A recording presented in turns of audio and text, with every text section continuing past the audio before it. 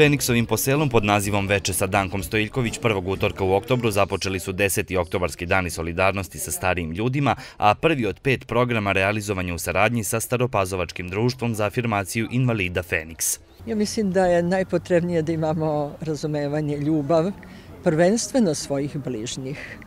Mi ćemo se osvrnuti pa ćemo reći društvo, ne znam, nije prihvatilo stare, ma ne, nego porodica treba da prihvati i osobu sa invaliditetom i stariju osobu.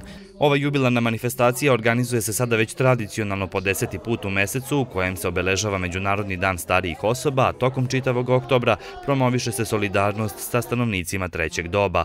Akcija međugeneracijske solidarnosti u okviru koje će se susresti članovi kluba sa decom preškolske ustanove Poletarac je centralni program tokom ovog meseca. Jako je važno za jedan zdrav, mentalno zdrav život u starosti, u stvari je važno biti e, socijalno aktivan, uključiti se negdje. Tokom naredna četiri utorka organizovat će se tematsko veče pod nazivom Kako da prepoznamo nasilje i diskriminaciju prema starijima, poetsko-dramsko veče Vatrište oka, zatim muzičko-pripovedačko veče Sviram i pričam i muzičko veče Ružo rumena. Organizator ove manifestacije je Staropazovački centar za socijalni rad u saradnji sa Crvenim krstom pod pokroviteljstvom opštine Stara Pazova.